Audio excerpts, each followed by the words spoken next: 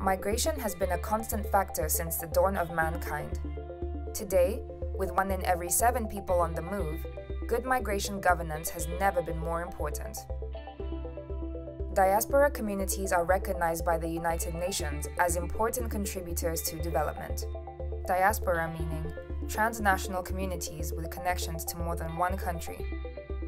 The UN's New York Declaration of 2016 states We recognize the development benefits of migration to countries of origin, including through the involvement of diasporas in economic development and reconstruction.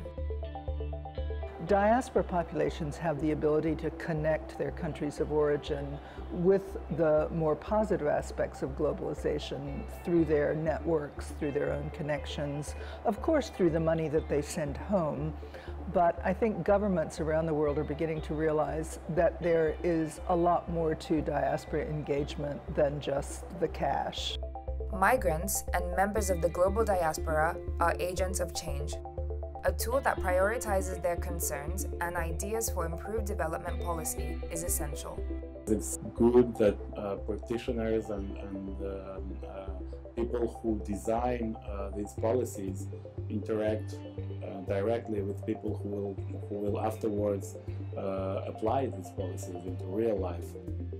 That tool is the iDiaspora Forum, an online platform that will empower individual diaspora members to contribute their opinions on the UN's Global Compact for safe, orderly, and regular migration, and discuss how government policies can better support migrant communities.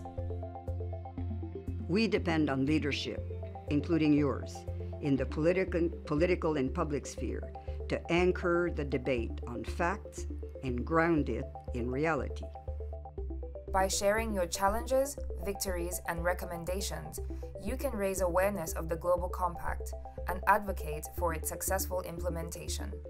The iDiaspora Forum will help bring to light your important contributions to both countries of origin and host nations. The forum will also bring together various migrant communities and diaspora organizations so that you can learn from each other's experiences, network, and share resources. Lift your voice your experience counts.